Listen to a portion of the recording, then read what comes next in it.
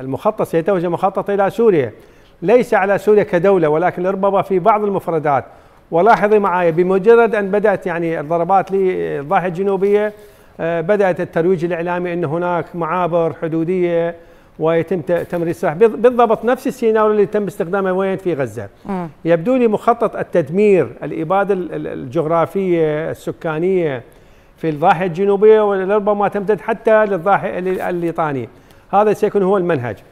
كم يستغرق هذا شهر أو شهرين؟ لاحظ التصريح الامريكي قبل يومين قالوا إنه يحتاج لربما يحتاج إسرائيل تواجد في بعض الوقت لإسرائيل. هذا البعض الوقت كم؟ أسبوعين وثلاثة. هذا أيضا ليس بالحتمي. بعد ذلك سيتوجهون إلى الحوثيين. فيما يتعلق الحاله العراقية أنا أقول برأيي المتواضع إسرائيل سوف لن تنخرط في توجيه ضربات لفصائل عراقيه داخل الحدود العراقية. لربما من خارج الحدود نعم ستعمل. وإن قامت بتوجيه بعض الضربات خاصة بعد وجود حالة يعني أصبح تهديد حقيقي آه، عبر العملية العسكرية الأخيرة اللي قبل يومين هناك خسائر حقيقية فعلية وليس افتراضية آه، قد توكل الأمر إلى أما لضربات مجهولة المصدر تقول أو سيكون هناك تنسيقا امريكيا لاعتبارات العلاقة العراقية الأمريكية وكذلك العلاقة نسميها؟ الترابط في وحدة الساحات. عموما هذا هو مخطط.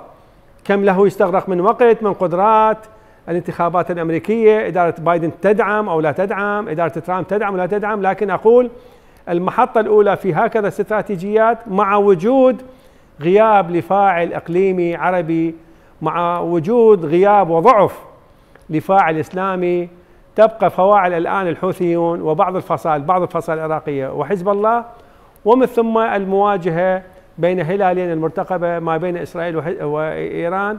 هذه كلها عوامل. لكن بالمقابل أيضا هناك ضواغط. يعني الكل أدرك الآن نتنياهو بمقوماته بشخصية يعني بمقوماته الشخصية لا يؤتمن استراتيجيا. حينما يخاطب آه، ماكرون ربما بعد فترة يخاطب دول أخرى. لذلك في رأي المتواضع من الغباء الاستراتيجي أن يترك نتنياهو أن يقود العالم إلى حافة الهاوية.